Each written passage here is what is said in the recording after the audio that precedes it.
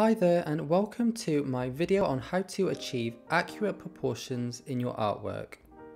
This is my go-to method if I want to make sure that what I am drawing or painting is as accurate as possible, which is important for me as I'm a pet portrait artist and a true likeness is a must. This method can also be used for the vast majority of drawing and painting surfaces. Today I will be talking about the grid method and transferring outlines. The grid method involves placing a grid over your reference photo, then drawing a replica grid over your drawing or painting surface.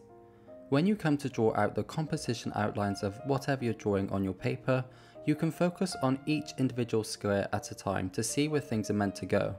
It breaks the drawing up into small pieces that you can put together by following the lines of the grid and using them as easy to follow reference points. Here you can see how I use each line of the grid to pinpoint where my pencil marks need to overlap. I focus heavily on where the start and finish points are located along each line. It's important to make sure that your reference photo is the same ratio to your paper. For example, if your drawing reference is square, 1 by 1, you'll need your paper to be the same size. Alternatively, if you want your own custom sized paper that's different to your reference photo, you can upload your picture to Photoshop and crop it to the exact dimensions of your paper. By using the website griddrawingtool.com, I am able to place a grid over my reference photo.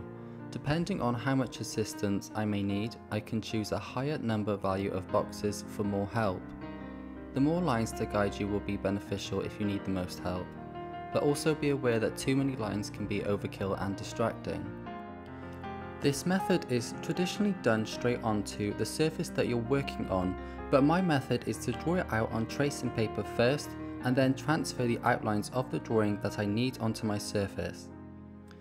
I achieve this by using carbon transfer sheets.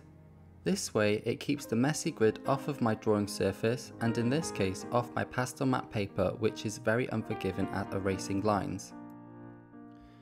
To begin the process of drawing my grid out onto the tracing paper, I first need to take the paper size in centimeters and divide it by how many lines are on the grid. In this case, my grid measures 10 lines vertically and 8 lines horizontally. If I take the vertical measurement of my paper which is 30 centimeters, I divide that by 10 which gives me 3. If I take the horizontal measurement of my paper which is 24 centimeters and divide that by 8, it gives me 3. This tells me that I need to place a line each 3 centimeters.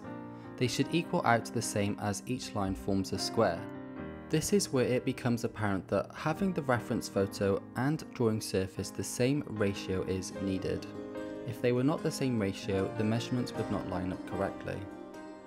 As you can see, I use a ruler to dot each 3cm mark which I will use to attach each grid line to. This all may sound slightly confusing right now, but after you've done it a couple of times, I promise you that it's really, really easy. After the grid is drawn out on my tracing paper, I am then able to look back at the reference photo that also has this same grid on top and use it to follow each outline that I need. It's important to take your time and to really focus on where the lines of your drawings and grid overlap.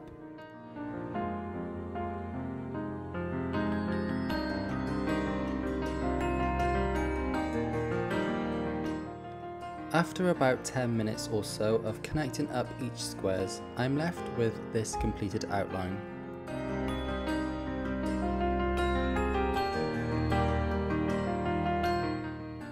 This very thin sheet I have here is the carbon transfer paper. They are very affordable and I think I purchased a pack of 100 for about £5 on eBay and you can use each one multiple times. I placed this carbon paper between my tracing paper and drawing surface, making sure that my tracing paper is taped firmly to my drawing surface so that the lines are transferred exactly where I need them to be. You're going to want to go over your outlines with a pen or pencil by applying a light pressure. Not too light or not too hard, a small amount of trial and error practice will show you how hard you need to press. And just like that, you have accurate outlines ready for you to begin your drawing or painting process. The rest of this video will feature a quick time lapse of me drawing out this portrait. It's part of a how to draw a human face tutorial which is now live on my Patreon channel. You can also find the link to this in the description. I hope this video has been useful to you. Please ask any questions in the comments if you wish to know anything else.